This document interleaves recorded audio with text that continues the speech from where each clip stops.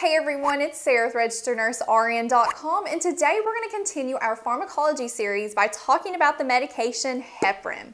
And after you get done watching this YouTube video, don't forget to access the free quiz that will test you on this medication. So let's get started. As we've been studying these medications in this series, we have been remembering the word nurse because this helps us remember those important questions we need to ask ourselves while studying these medications. So we're dealing with heparin and sometimes you may see it written as unfractionated heparin.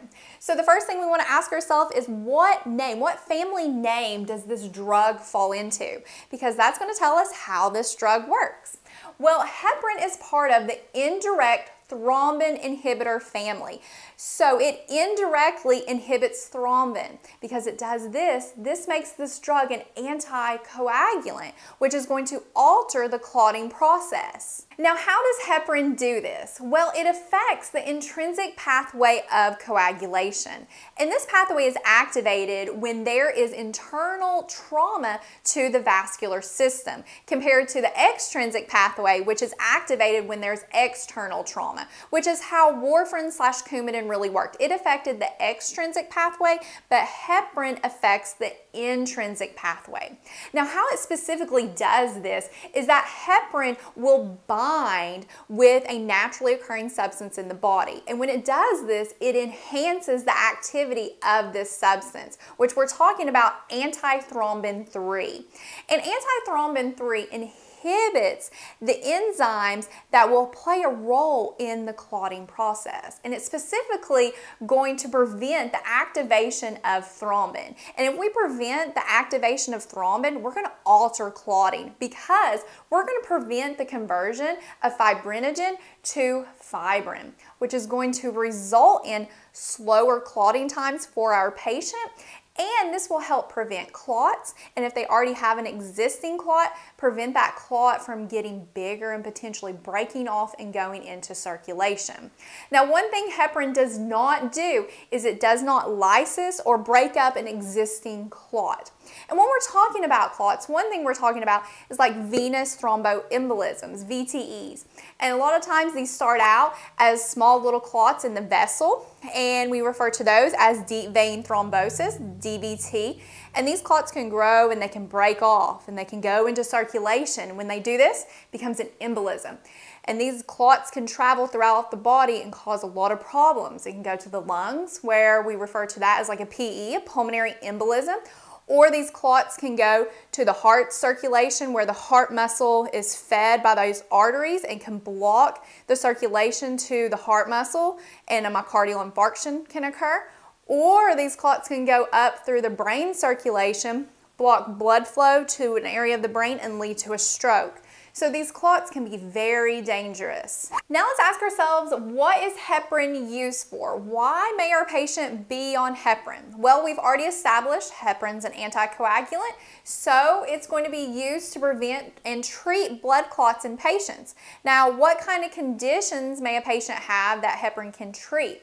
Well, patients who have those VTEs, those venous thromboembolisms, or a pulmonary embolism, Stroke help prevent a stroke where the clot can go and block the blood flow to the brain.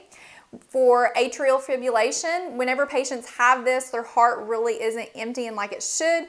Blood is pulling from those erratic impulses in the heart and a clot can form because anytime blood pulls together clots can form and we want to prevent like a clot being shot out of the heart and leading to a stroke or in certain cases of surgery, like cardiac surgery or some types of orthopedic surgery, like hip surgery, where there's an increased risk of clot development. Next, let's talk about the responsibilities of the nurse for a patient who is on heparin. So one thing you want to know is how is heparin administered? Well, we can give it through an injection via the fatty sub-Q tissue or the IV route intravenously through a continuous infusion.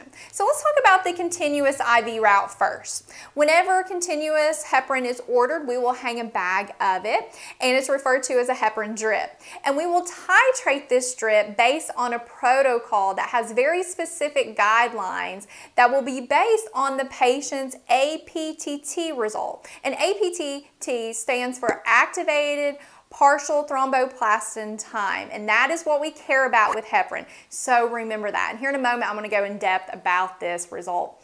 So based on this result, either we will increase the drip, give the patient a bolus, or we will turn the drip off for an hour, decrease the rate, or there'll be no change to the drip until the next APTT result. And the whole reason we're doing that is because we're trying to get this patient within this therapeutic range so we can prevent blood clots. So it has to be therapeutic for it to actually work because we can cause them too much bleeding or we can actually cause them where it's not working at all and they'll get blood clots. So with this heparin drip, this result will be drawed every like four to six hours. I've mainly seen it six hours. It depends on your hospital protocol.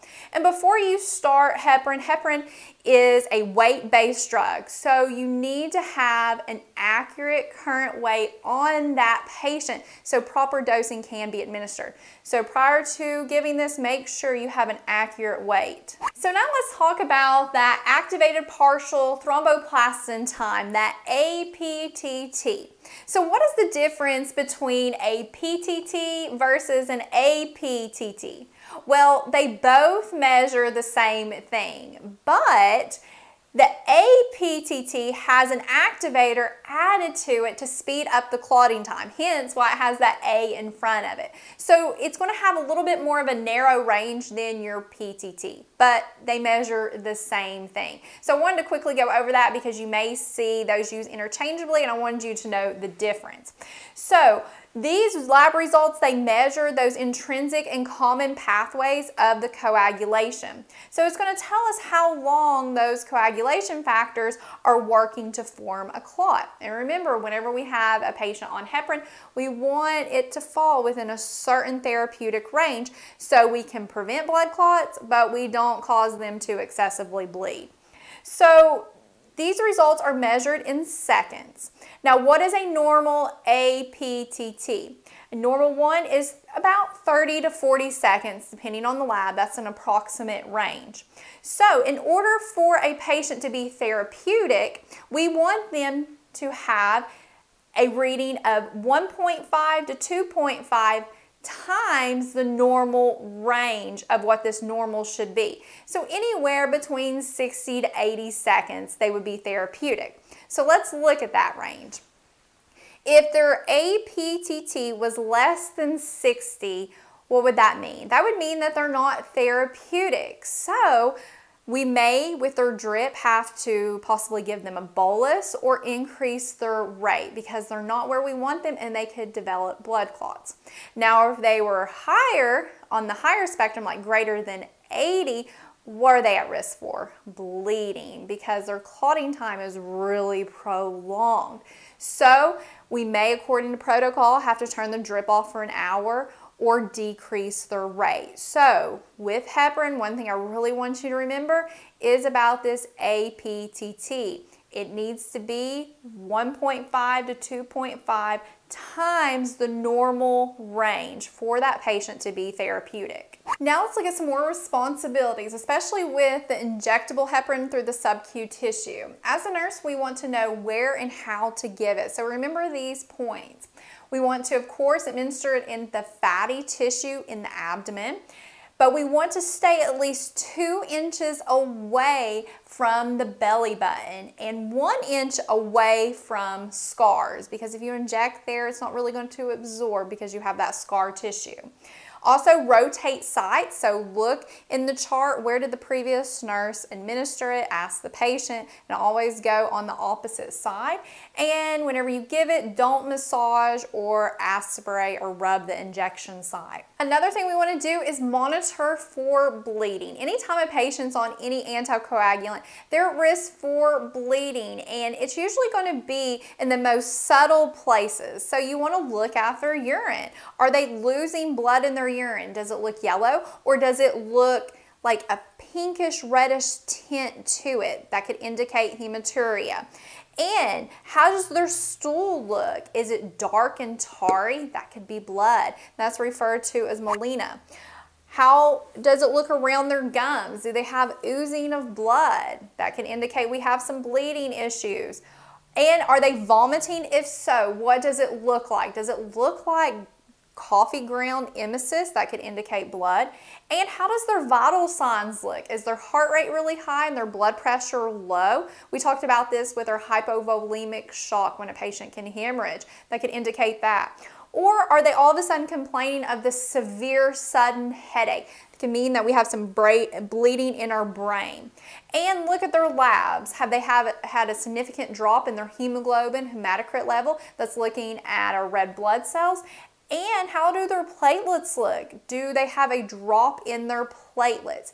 Which can indicate heparin-induced thrombocytopenia. So we want to be watching out for those things as well. Now let's quickly talk about this heparin-induced thrombocytopenia because it can happen to your patient who is on heparin and you want to be on the lookout for it.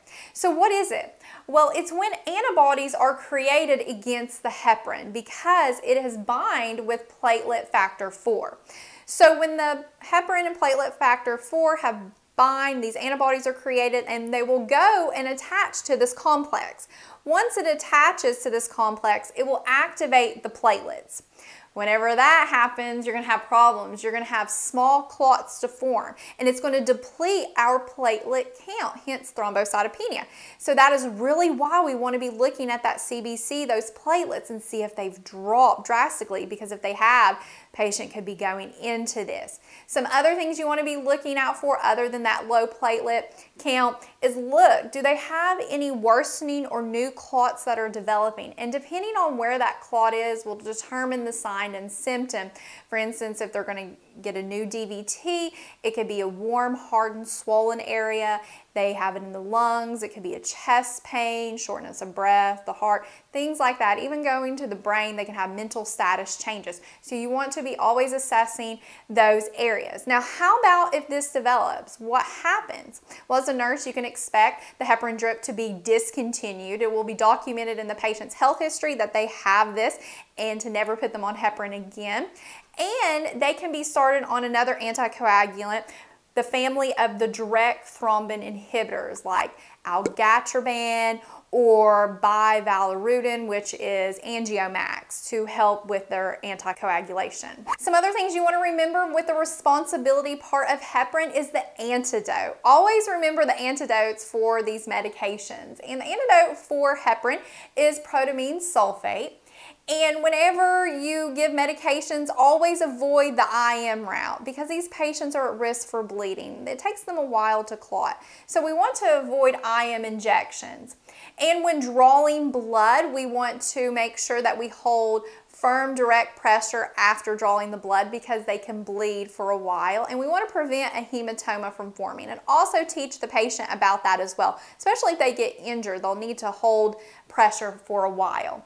This medication can be used during pregnancy. Warfarin could not be used during pregnancy. And speaking of warfarin, this medication, heparin, can be used as a bridge while a patient is being switched to warfarin because warfarin takes about three to five days for the patient to become therapeutic where the INR is between 2 to 3. So they'll be on heparin during that bridging time. Then the heparin will be discontinued because, you know, heparin has a short half-life.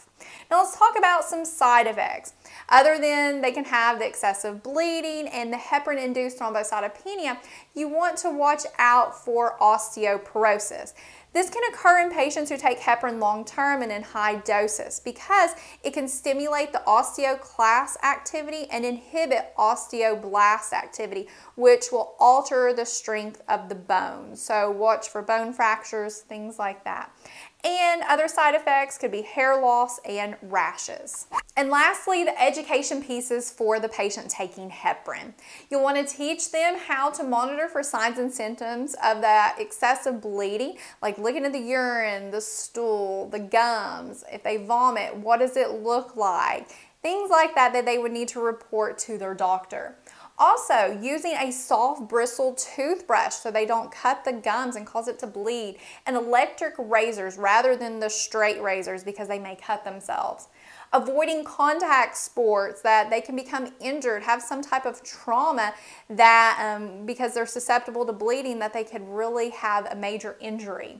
Also, avoiding taking aspirin, any type of NSAIDs or over-the-counter health vitamins because this can interfere with heparin and increase bleeding. And always talk to your healthcare provider before taking any new medications and how to administer the sub-Q heparin. You'll want to demonstrate to the patient, show them, make them demonstrate back to you to make sure that they're doing it right. And to always let other healthcare providers know that they're taking heparin, especially prior to any type of invasive procedure. Okay, so that wraps up this review over heparin. Thank you so much for watching. Don't forget to take the free quiz and to subscribe to our channel for more videos.